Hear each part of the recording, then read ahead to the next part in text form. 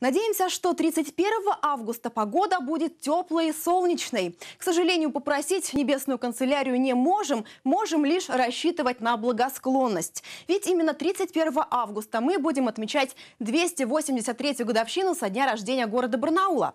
Каждый из районов краевой столицы активно готовится к масштабным мероприятиям. Чем будет удивлять горожан Октябрьский, узнавали Маргарита Белова и Александр Антропов. Так уж получилось, что у жителей Октябрьского района 31 августа двойной праздник.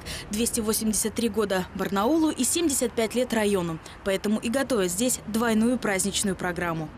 Начнем мы праздник города 28 числа. Мы собираем актив Октябрьского района, передовиков производства на торжественное собрание, где будут вручаться, вручаться грамоты, благодарственные письма, подарки. Самые масштабные мероприятия начнутся 31 августа. В 10 утра на пересечении проспекта Ленина и улицы Шевченко откроется выставка продажи цветов.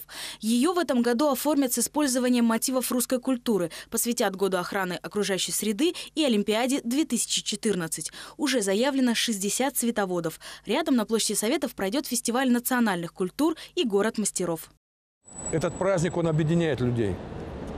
Вот даже, посмотрите, 49 палаток и шатров будет национальных разных.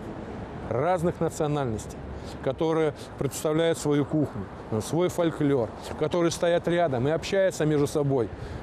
И вот это надо видеть. И не просто видеть, надо в нем участвовать и понять, что мы огромная большая семья.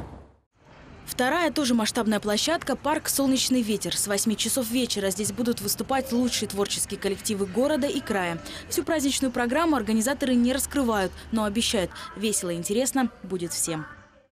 Не останутся без внимания и ветераны. Специально для них администрация района организует бесплатные экскурсионные маршруты по основным площадкам города. А первоклассникам будут подарены бесплатные билеты в цирк. И, конечно, салют, ведь без него и праздник не праздник. Он отгремит возле парка «Солнечный ветер» в 22 часа 31 августа. Не опаздывайте. Маргарита Белова, Александр Антропов. Информационный канал «Город».